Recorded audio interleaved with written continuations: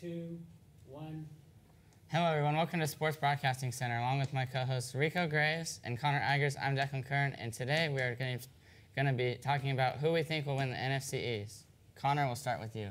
Um, I think it's undisputed that the Philadelphia Eagles will be able to come away with the NFC East this year. They were so good last year, and yes, some defensive pieces were lost last year, but they should still be just as good as they were last year.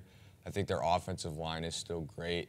Jalen Hurts is still young and he can still improve, which is just baffling to know. And I just don't think that the teams like the Dallas Cowboys and the New York Giants can catch them this year. I don't think the Giants are where they need to be to catch the Eagles at all this year. The Cowboys might have a chance, but I think with all the drama around Dak Prescott that this team has way too much stuff going on outside the field.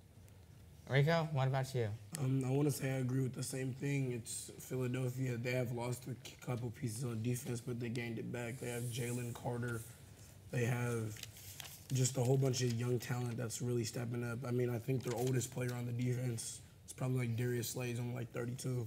So I feel like a whole bunch of loss came with gain in the draft. So honestly, yeah, Philadelphia for sure. Dallas close second.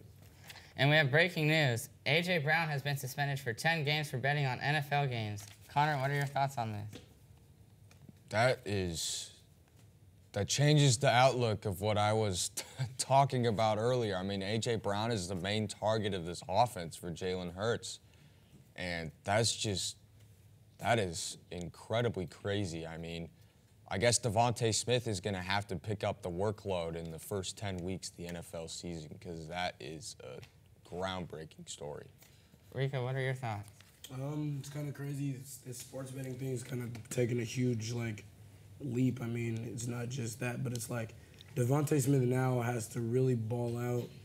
D'Andre Swift, he's gonna have to step up. They, they Jalen Hurts is still gonna be Jalen Hurts, but this might make the division race a lot closer, which also may affect playoff seeding. Yeah, I agree. All right, that that'll be it here for my co-host Rico and Connor. I'm Declan. Thanks for watching Sports Broadcasting Center.